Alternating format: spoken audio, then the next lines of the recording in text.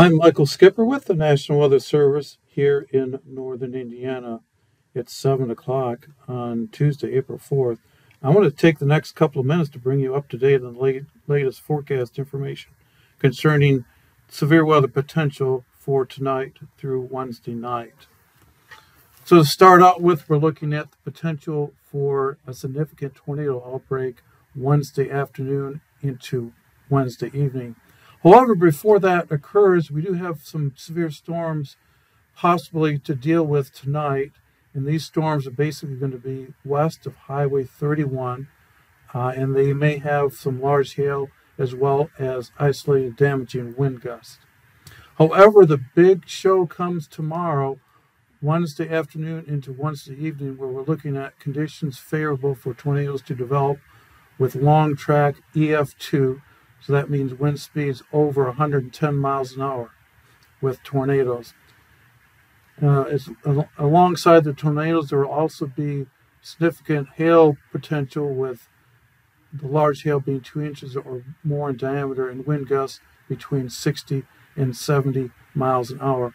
One thing to note with these storms, they will be moving very fast, so it may not give you much time to take shelter.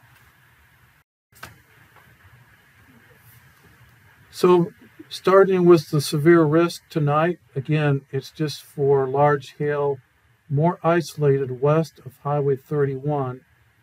Otherwise, potential for severe weather is low tonight, and the confidence is low.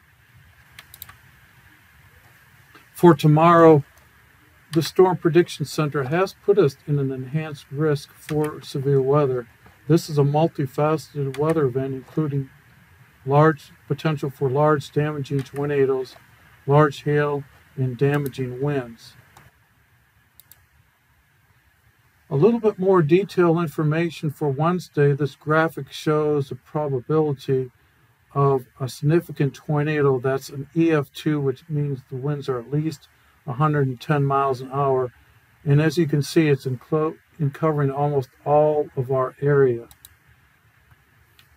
In addition, to the tornado potential, there is a large hail potential for a large hail of two inches in diameter or larger, as well as chances for damaging winds. And again, these storms be, should be moving very fast, at least 60 miles an hour.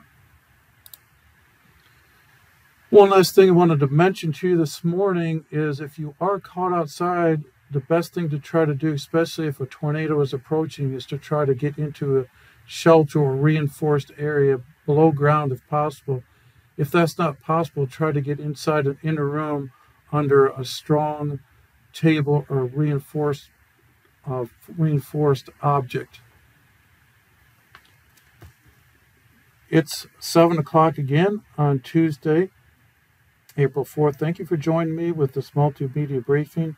Forecast information could change at a later time so be sure to check back to our website, weather.gov forward slash IWX for the latest forecast information.